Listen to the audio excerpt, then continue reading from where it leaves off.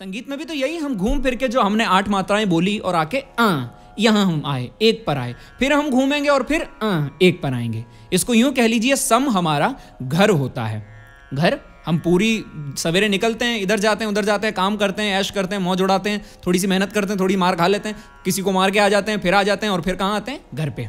तो सम पे लौटते हैं हम वापस और फिर फिर अगले सवेरे निकल जाते हैं और फिर आते हैं घर पे, है ना? जिसको कहते हैं, लौट के बुद्धू घर को आए।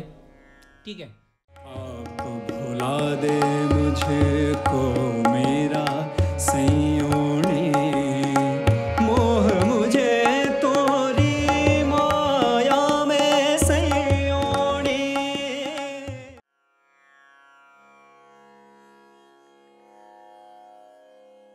लय, जैसा कि हम जानते हैं, लय का अगर ट्रांसलेशन करूँ इंग्लिश में तो वो बनता है टेंपो टेंपो यानी एक टाइमिंग में चलना, यानी एक स्पीड है ना? एक स्पीड में चलना। एक, दो, तीन, चार। अब जनगण मन है। जनगण मन अधि इस स्पीड में करेंगे तो ये इसका टाइमिंग जल्दी खत्म हो जाएगा, बावन सेकंड में नहीं आएगा। और जन गण मन, इस स्पीड में किया तो ये बावन से ज़्यादा हो जाएगा। लेकिन इसकी एक निश्चित लय, अगर 60 की गति में 60 बीपीएम अगर इसका टेंपो लें, या 120 बीपीएम जो उसका डबल होता है, वो करें तो ये बावन सेकंड में एग्जैक्ट खत्म होगा। यही गीत आपका।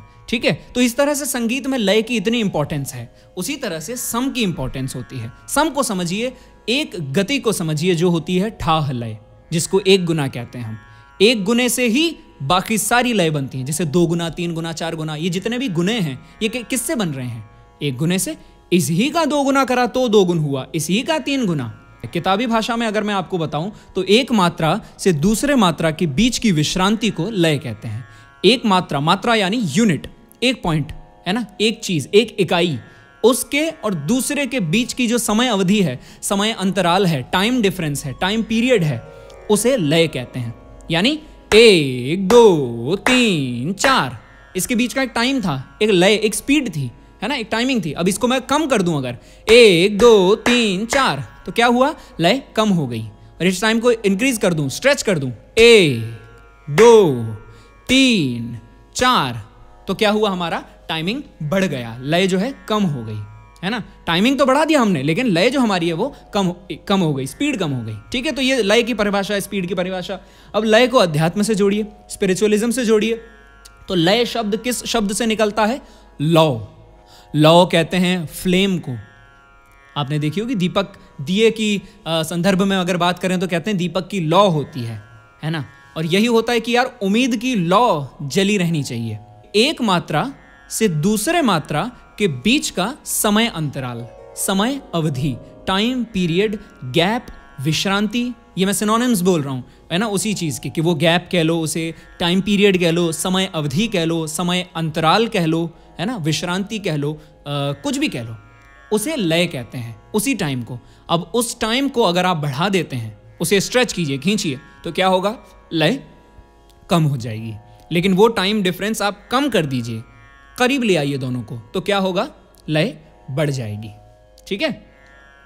इसको कुछ यूँ कहते हैं, अभी मैं इसको लिटरेचर से अगर जोड़ूं और रिश्तों से अगर जोड़ूं ना तो कुछ यूँ होता है ना, लोग कहते हैं ना कि गाहे गाहे की मुलाकात ही अच्छी है अमीर। कद्र खो देता है रोज का आना जाना। कि गाहे गाहे यानी कभी कभार की मुलाकात ही अच्छी होती है, कभी कभार मिला करो तो बना रहेगा जो रिश्ता है। रोज रोज मिलोगे तो कद्र चली जाएगी, आपकी इंपॉर्टेंस जो है वो खो दी जाएगी, है ना? अमीर मीनाई का शेर है, ये गाहे गाहे की मुलाकात ही अच्छी है अमीर, कद्र खो देता है, रोज का आना जाना। ये वही कंसेप्ट है जो मैंने अभी लय में आपको बोला, कि लय में दो मात्राओं को जितना करीब रखोगे, लय बढ़ जाएगी, है ना? यानी चीज़ जल्दी खत्म होगी, और जितना दूर रखोगे दोनों दोनों मात्राओं को, लय कम होगी, यानी लंबा चलेगा। ठीक है? ये कंसेप्ट मैंने भी अभी अभी आपके सामने ही बोला और मुझे क्लिक करा कि हाँ ये कंसेप्ट देखिए रिश्तों से कैसे जुड़ता है। क्योंकि मैंने बोला, मेरा जो पैटर्न है सिखाने का वो एनालॉजी है। ठीक है? तो एनालॉजी पैदा होती है, उसी समय बनती हैं। ठीक है? तो इस चीज़ को समझिए, ऐसे ही लय समझनी होगी हमें। सिर्फ़ किताबी भाषा में समझोगे तो क्या होता है? सिर्फ़ एग्ज़ाम के लिए याद हो जाती हैं, वरना चीज़ें समझ नहीं आती हैं। है ना? कई बार होता है ये लाइफ में कि आपको वो चीज़ें समझ बाद में ही आती हैं। शुरुआत में पढ़ तो लेते हो। ठीक है? तो बनाए रखो, दूरी बनाए रखो। है ना? तो अपने आप जो है वो लंबा चलेगा। इंपॉर्टेंस जो है वो उसकी आपकी बनी रहेगी। वरना जिस तरह से मात्राओं को जितना करीब लाओगे, उतना जल्दी खत्म हो जाएगा। जैसे कि मैंने बोला जनगण मन को अगर जनगण मन अधिनायक जय है भारत भाग्य विदाता इस लय में इतनी करीबी शब्दों की अगर पढ़ने लग गए तो वो यह खत्म हो जाएगा तीस सेकंड में। लेकिन यही आपने जन, गण, मन, अधि, इस स्पीड में बोला, इतनी दूरी में बोला शब्दों को तो क्या होगा? लय बढ़ जाएगी, वो आपका एक मिनट तक भी एक्सटेंड हो सकता है। वही गीत। ठीक है? वही ये सीक्रेट है। मैं आपको आज लव गुरु बन के एक अच्छी बात बता के जा रहा हूँ। ठीक है? अब ये रिश्तों में आप अगर अपनाएँ तो अपनी ऊपर है। हर रिश्ते में आता है, ऐसा नहीं कि सिर्फ़ आप एक किसी रोमांटिक रिलेशन में डाल रहे हैं इस चीज़ को। तो रिश्तों की बात है तो वो होने चाहिए। ठीक है?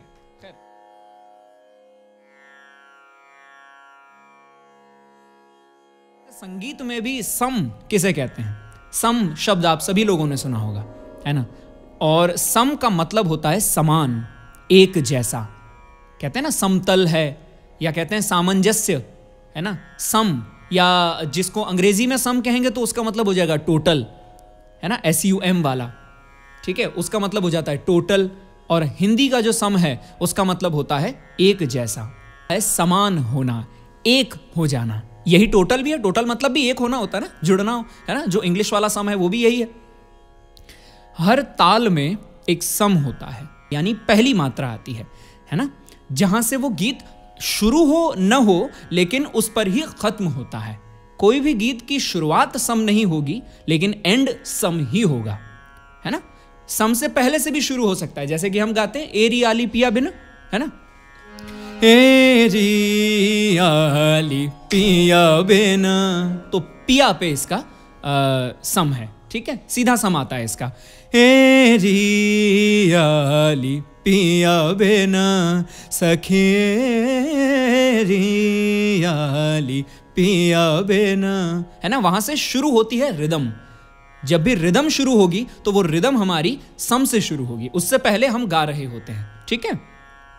सम तक हमें पहुँचना होता है। अब मैं क्योंकि हमेशा से मैंने बोला है कि साहित्य संगीत और अध्यात्म जुड़ा हुआ है तो सम तक पहुँचना है तो आप समझ जाइए मैं किस सम की बात कर रहा हूँ अध्यात्म के तौर पर स्पिरिचुअलिज्म के तौर पर कि कहाँ हमें पहुँचना होता है किससे हमें समान होना होता है कहाँ हमारा एकाकार होना होता है है ना? संगीत में भी तो यही हम घूम फिर के जो हमने आठ मात्राएँ बोली और आके आ यहाँ हम आए एक पर आए फिर हम घूमेंगे और फिर आ, एक पर आएँगे। इसको यूँ कह लीजिए सम हमारा घर होता है। घर, हम पूरी सवेरे निकलते हैं, इधर जाते हैं, उधर जाते हैं, काम करते हैं, ऐश करते हैं, मौज उड़ाते हैं थोड़ी सी मेहनत करते हैं, थोड़ी मार खा लेते हैं, किसी को मार के आ जाते हैं, फिर आ जाते हैं और फिर कहाँ आते हैं? घर पे। तो सम पे लौटते हैं हम वापस और फिर फिर अगले सवेरे निकल जाते हैं और फिर आते हैं घर पे, है ना? जिसको कहते हैं लौट के बुद्धू घर को आए। ठीक है? तो वही चीज़ होती है संगीत में भी। संगीत में भी आप सम पर शुरू भले ही सम से नहीं होगे, लेकिन बीच में सम पे आते हो, ठहरते हो और फिर वहाँ से निकल जाते हो और फिर सम पे आते हो। है ना? ये क्रिया, जिसको कह रहे हैं चक्र। चक्र चलता है ऐसा, ठीक है? कोई भी आप गाना ले लीजिए, जैसे कि, जब दीप जले आना,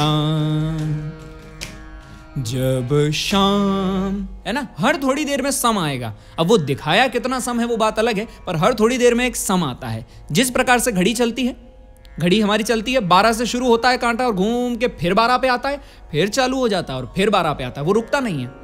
है ना? वो बारह से बारह का जो चक्र है, वो चलता है। एक से साठ का जो सेकंड चक्र है, वो चलता है। उसी तरह से जो ताल है हमारी, उसमें भी सम शुरुआत है, सम ही अंत है। ये इन्फिनिटी बनती है। सम से ही शुरुआत है सम से ही अं-, अंत है है ना? जिसको हम अध्यात्म कहते हैं कि अध्यात्म में यही कहते हैं कि ईश्वर से हम निकले हैं और ईश्वर में ही हम विलीन हो जाते हैं वहीं मिल जाते हैं एकाकार हो जाता है हमारा है ना? और यही हमारी दुनियावी भाषा में भी हम इश्क को भी इसी तरह से जानते हैं कि तू मैं मैं तू एक ही हो जाएँ उसे असल इश्क कहते हैं है ना? वननेस वननेस का जहाँ फील है भाव है वहाँ इश्क है है ना? वो वाली बात है कि आ, ये मोजा भी मोहब्बत कभी दिखाए मुझे। ये मोजा मोजा यानी चमत्कार। ये मोजा भी मोहब्बत कभी दिखाए मुझे कि संग गिरे तुझ पे और जख्म आए मुझे। कि पत्थर तुझ पे गिरे और जख्म मुझे लग जाए। इस तरह से एकाकार हो जाए। ये मोहब्बत का जो चमत्कार है, ये मुझे देखने को मिले तो है। इस तरह की मोहब्बत अगर मुझे देखने को मिले, ऐसा इश्क, ऐसा प्यार मुझे अगर किसी से हो और किसी को मुझसे हो, कि जहाँ सिर्फ़ जिस्म नहीं, दिल जो है, जहन जो है वो जुड़ जाए एक तरह से। है ना? कि वो और मैं एक हो जाएँ, ठीक है? खैर, यही चीज़ संगीत में भी जुड़ती है, इसीलिए मैं आपको उसका भी एग्ज़ाम्पल दे रहा हूँ। ऐसा नहीं कि मैं डाइवर्ट हो रहा हूँ डाइवर्ट अपन होते नहीं है, वहीं पे आते हैं। लेकिन थोड़ा सा जो डी लेना ज़रूरी होता है, क्योंकि एग्जाम्पल्स हैं भाई।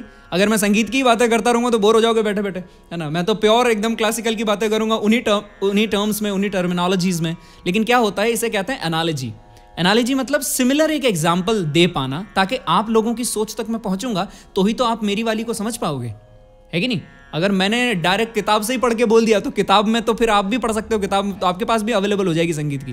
लेकिन उसी को पढ़ के समझ आ रहा होता तो मेरे पास आते ही क्यों? है ना? मुझसे जुड़ते ही क्यों? तो मेरे पास आए हो तो मेरा एक अंदाज है, मेरा एक तरीका है, जिससे मैं समझाता हूँ, और वो तरीका एनालॉजी का तरीका है एग्जाम्पल्स का तरीका है। है ना? एग्जाम्पल्स सीखोगे एग्जाम्पल्स ऐसे जो आप रिलेट कर पाओ। इसीलिए मैं कोशिश करता हूँ अलग अलग एग्जाम्पल्स दूँ, है ना? सम पर आ जाना यानी घूम फिर के वहीं आना है। जैसे कि हमारा जनगण मन है, वो शुरू ही सम से होता है। जनगण मन अधिनायक जय हे। मेरे वज़न पे फोकस कीजिएगा, मैं कहाँ कहाँ वज़न देता हूँ, उसी तरह से आपको वज़न पहचान आएगा सम का। जनगण मन अधिनायक जय हे। भारत भाग्य विधाता। है ना? इसमें ज़रूरी नहीं है कि शब्द की शुरुआत पे ही सम रहा हो। ये चीज़ आपने महसूस करी होगी कि बीच शब्द में भी समा जाता है। बीच में भी रिदम पैदा हो जाती है। जन, गण, मन, अधिनायक, जय, हे, भारत, भाग्य, विधाता। वी, से शब्द शुरू हो रहा था, लेकिन सम मेरा धा पे आया। है ना? तो ये कहरवा चल रही है। कहरवा आठ मात्रा की रिदम साइकिल होती है।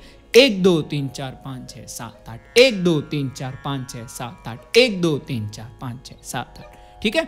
इस तरह से तालें जो हैं, गीत में बजती हैं। अब ताल शब्द का अर्थ मैं पहले भी बता चुका हूँ, ताल शब्द हमारे तौल शब्द से निकला है।